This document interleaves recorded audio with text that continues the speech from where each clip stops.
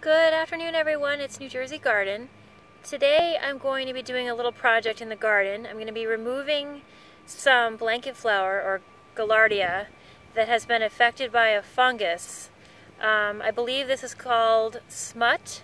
Uh, it's just uh, white spots on my gaillardia and I had pulled out a few of these last summer and the way you handle it is you just want to rip them out of the ground and um, my understanding is not to plant any more gaillardia in the soil because the spores, the diseased, um, you know, soil can affect uh, future plants. So I'm going to try to pull all of these out that have been affected. And I have been growing some new blanket flower in the basement. So I'm going to be planting some of that and I'll show you guys that in future videos. I just wanted to show everyone what Gaillardia um, smut looks like.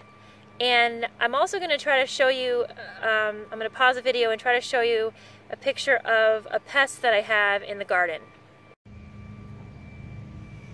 Okay, so we have a pest here um, in New Jersey called the four-lined plant bug. And I'm trying to zoom in to show you what it looks like.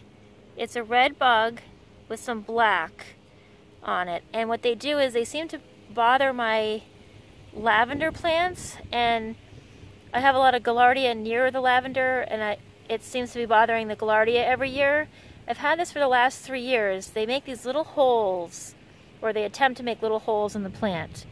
And the best way to handle this, um, you can use insecticide, but um, I try to do everything organically and I'm going to spray some um, dish detergent, you know, mixed with water um, or some insecticidal soap or something like that on the plants this year to see if I can stop some of the damage. They make some temporary damage and then they go away by the end of June. But um, for years I didn't know, there it is, there's a close-up. For years I didn't know what was causing these little holes in my plants.